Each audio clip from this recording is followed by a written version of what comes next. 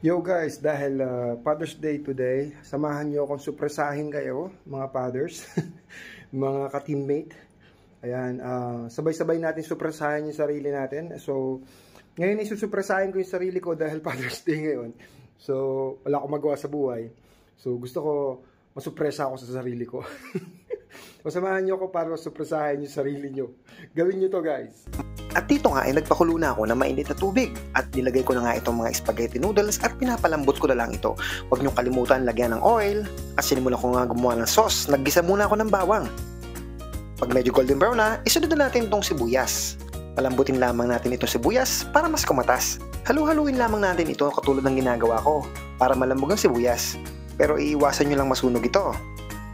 At dito nga, inilagay ko na yung isang kilong baka. Haluin nyo lang itong maigi hanggang mag-mix yung sibuyas, bawang at yung baka.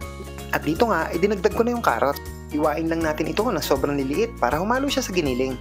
Ang paglalagay ng karot ay optional lang kung gusto mong lagyan or hindi. At dito nga naglagay na ako ng bechin, paminta, asin, garlic powder, at onion powder. Kung may magic sarap kayo, pwede nyo rin itong lagyan. At dito nga hinalo ko na yung tomato sauce at saka yung spaghetti sauce. Ang spaghetti sauce na nilagay ko dito is yung Filipino style na. Halu-haluin lamang natin ito hanggang sa maluto tulad ng ginagawa ko. At dito nga ay maglalagay tayo ng dalawang latang reno. Ang reno kasi ay nagpapadagdag lasa at nagpapadagdag lapot sa ating nilulutong spaghetti sauce. Pagpasensyahan nyo na kung tumalsik sa pader yung spaghetti sauce. Inaan lang natin yung apoy habang niluluto natin ito. At dito nga inilagyan ko na siya ng cheese. Isa din to sa pampalapot at pampalasa ng spaghetti sauce. Mas creamy kasi ang spaghetti sauce kapag merong cheese. Yan na rin kasi nakasanayan natin gawin sa Pilipinas. At heto na nga, ang ating napakasarap at napaka-creaming spaghetti sauce. At pagkatapos, pwede natin ilagay sa plate at iserve with matching garlic bread. Di, pasok ka na. Huwag ka sisilip. Oh, mo yung eyes mo.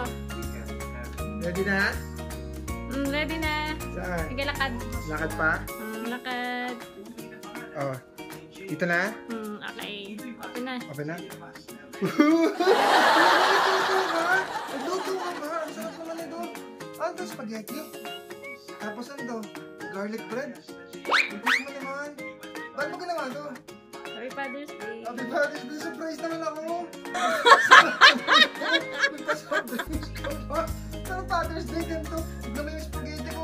分かった時に